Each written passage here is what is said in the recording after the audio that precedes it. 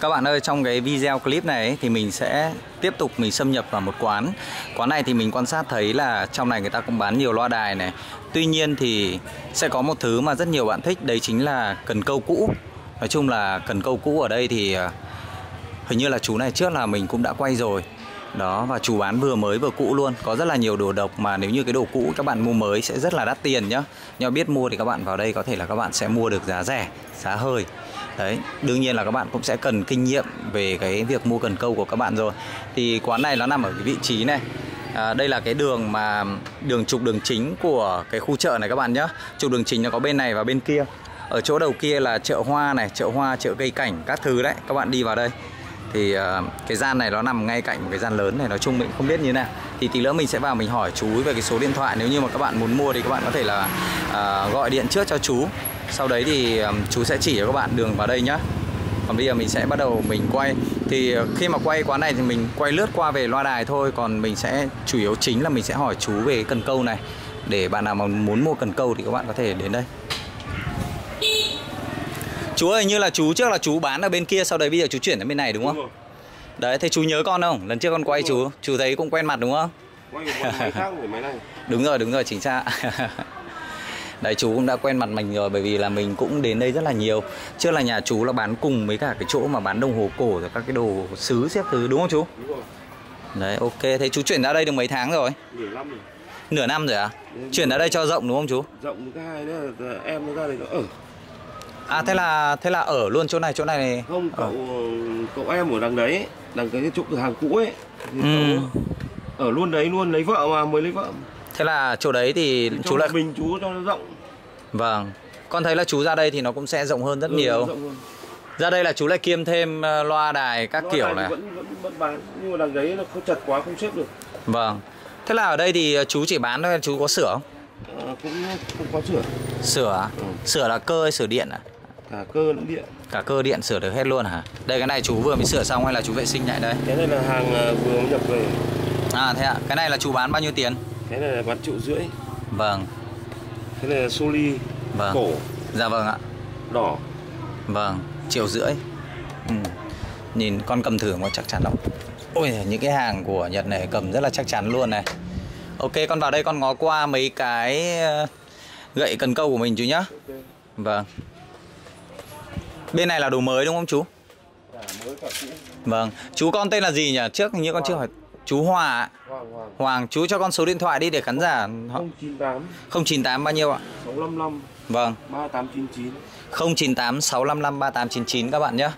Đấy mình cung cấp cái thông tin như vậy để các bạn muốn thì các bạn có thể gọi điện cho chú trước khi đến. Thì có ai gọi điện cho chú chú chỉ đường cho khán giả cho con nhé.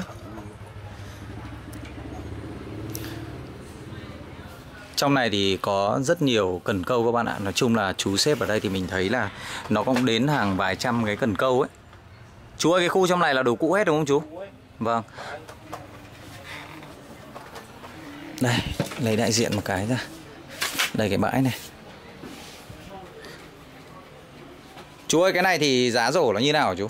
Cái đấy rẻ nó không phít nữa Vâng là bao nhiêu chú? Trăm rưỡi cái này là không chưa có máy đúng không? Máy thì muốn ra thì các bạn ra kia các bạn chọn nhé tí nữa mình ra đấy mình quay máy cho các bạn.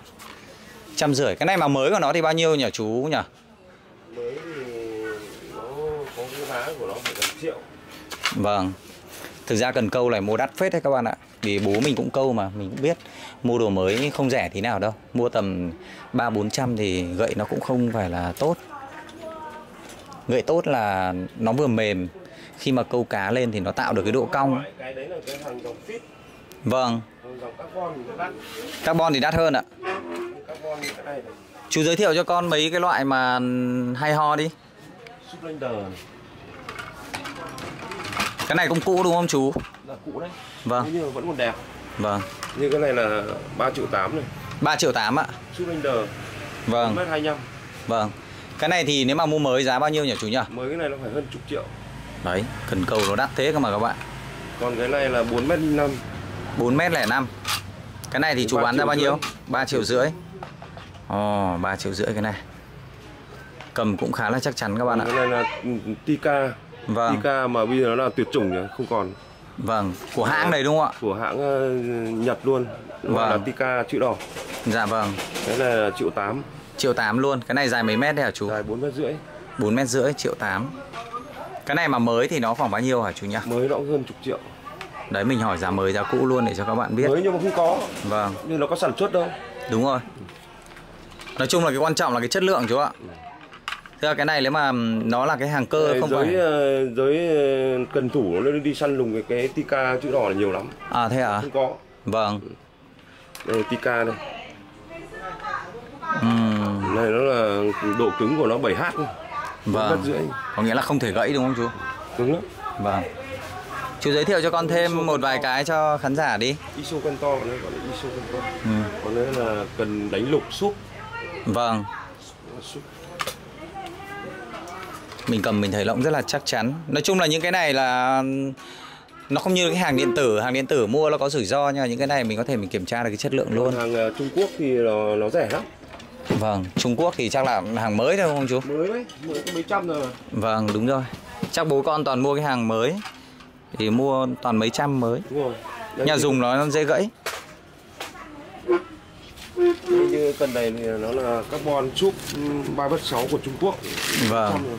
đấy vừa bán cho ông cụ đây này đấy đấy có 600 rồi mà Vâng, hình như trước là con quay bố con còn qua đây chắc là cũng mua ở đây thêm một chú đấy.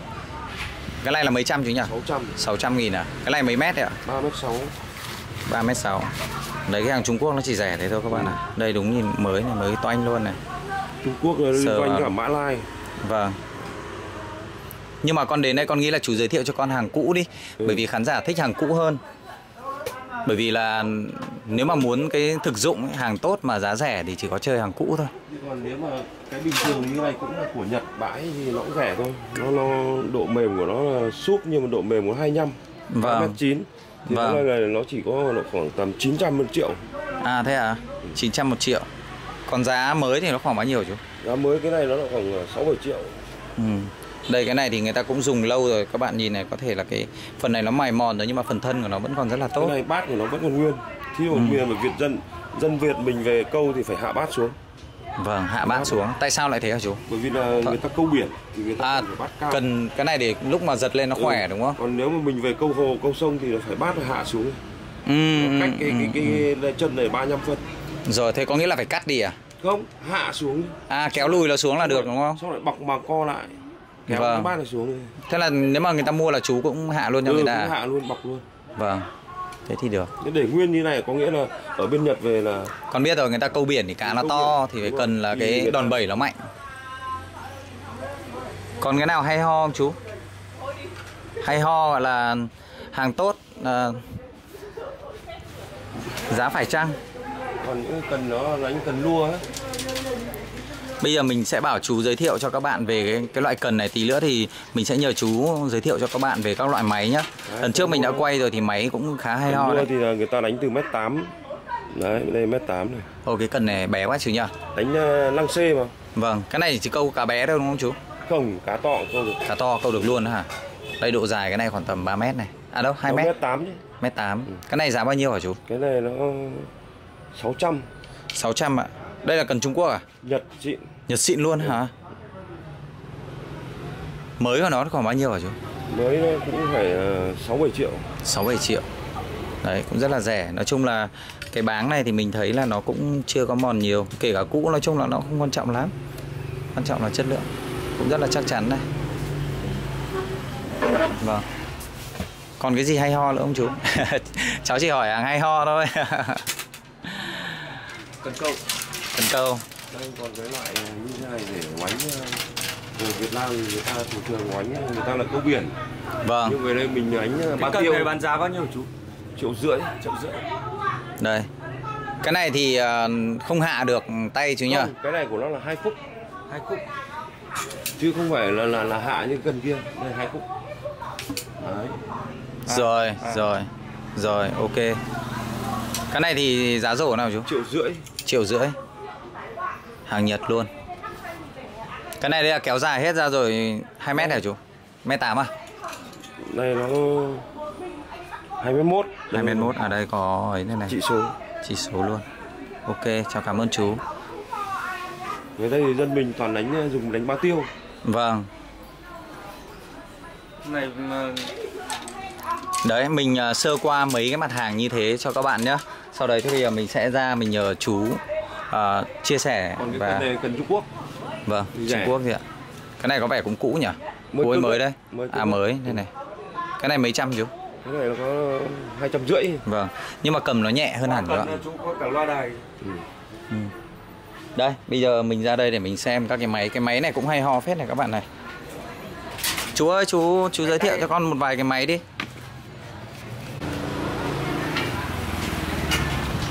Máy để trên với cả để dưới này thì nó có khác biệt nhau cái gì không chú? đây máy này máy 11 nghìn. Đánh ờ, lục. Vâng, cái này là hàng gì đấy ạ? hàng này hàng Nhật sản xuất Vâng. tại Mã Lai. À thế ạ, cái này thì giá bao nhiêu hả chú? cái này là có giá là 2 triệu. 2 triệu ạ? Mới nó khoảng 7 8 triệu. Vâng. Con này thì ờ, đã qua sửa chữa thì chưa chú? chưa vẫn còn nguyên. À thế ạ. Vâng, cái này thì thường nó có ít hỏng. Vâng. Chỉ cũ thôi. Chú cho con con khác đi. Con khác nữa để con xem nào Đấy, rất nhiều loại máy. Con này thì nhìn có vẻ cổ cổ này. Đây đây. Con này, mấy con này là dùng tốt hết rồi chú nhỉ? tôi, tôi. Vâng. Con này thì bao nhiêu? cái này ờ, triệu rưỡi. Triệu rưỡi.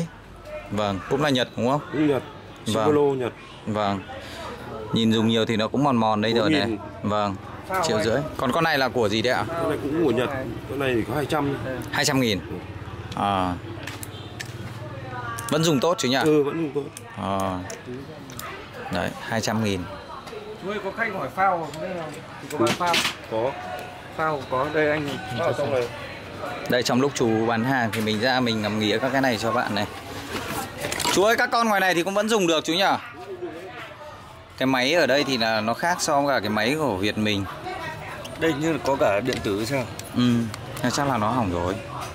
Ông vẫn dùng Cái điện tử này mà à, điện tử thì chắc là phải hết pin thôi Điện tử nói chung là những cái đồ mà dùng lâu rồi thì mình không tin tưởng nhiều vào nó lắm ngoài đấy là toàn máy hỏng hết rồi em ạ. à à, Máy hỏng luôn rồi gì hả? Cả hai bên này hả chú? ừ, không bên này thì vẫn dùng được À bên này dùng máy được ngang. Toàn bộ là máy ngang hết à? Nhưng mà, mà người Việt mình dùng thì có khó khăn gì không chú nhỉ? Hay là dùng bình thường thôi? bình thường mà. Ừ. Đây cái dòng à, cái dòng máy này thì nó khác so với cả cái cái này quay tay này.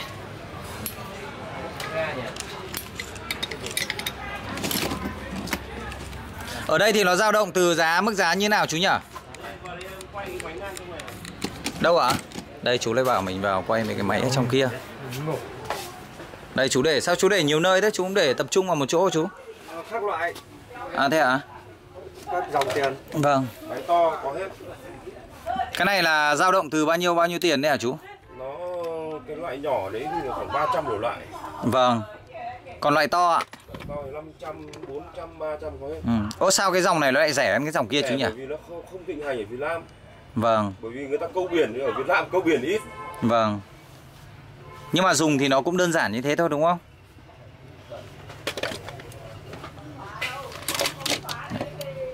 Bạn nào mà biết dùng cái dòng này thì nó cũng rẻ Vài trăm Đây mình sẽ cầm từng cái lên để cho các bạn ngắm nghía. Chứ còn máy biển ở bên kia nó bán đắt lắm đấy. Nó tính toàn mấy nghìn đô một cái. Vâng. Nhưng về Việt Nam nó cũng thịnh hành. Cái này chắc dùng chẳng biết hỏng đâu chú nhỉ? hỏng sao được? Nghe có vẻ- Nhật là nhất rồi. Đây cái này cầm rất nặng luôn cái này hệ số hỏng thì nó cũng có nhưng mà ít. Vâng. Nó nồi đồng cối đá. Cầm vào cái nào nó cũng chắc nịch lên mà người Nhật người ta sản, xuất ra một cái sản phẩm nào là nó phải nó phải quy chuẩn quốc tế? Máy nó rất là chắc luôn các bạn ạ Cực kỳ chắc. Cái cần này khoảng bao tiền cái chứ? Phần nào? Phần đấy, phần đấy 200 mà. Đây chú. Có lục tỷ đèn chú 6 tỷ. Đi. Tỷ. có Chú ấy bán thêm cả mấy cái mặt hàng à, kính kiếc này hả chú? Ừ, À, Kính này thì giá rổ nó dao động như nào hả chú? Nó nhiều loại cổ. Vâng Chắc cổ thì đắt hơn đúng không? Còn kính mà bình thường thì mình bán thì vài trăm, Vâng. Cổ thì vài triệu. Vâng. Đây là hình cũ này. Con dao này chú bán bao nhiêu? Con dao Thụy Sĩ này, con dao này bán 300 300 dao bé, dao to? Dao bé, Còn dao to thì bao nhiêu? to 500 Ừ, Dao to này mới cứng luôn. Vâng. Còn nguyên hộp. Vâng, dao Thụy Sĩ này dùng rất là hay. Bên trong nó có cái tăm này, cái phần trắng Đủ trắng này là cái tăm này. Ừ. Dùng hay phết đấy. Ngày xưa mình có một cái dao Thụy Sĩ được tặng nhưng mà bị ờ, ông anh Ông anh, ông bạn, ông ấy chấn thì ông thích quá.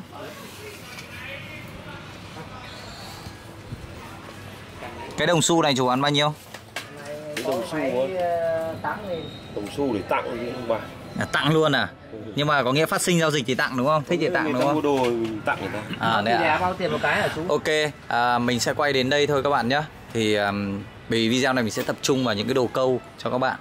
Còn à, loa đài thì mình sẽ quay ở một cái video khác.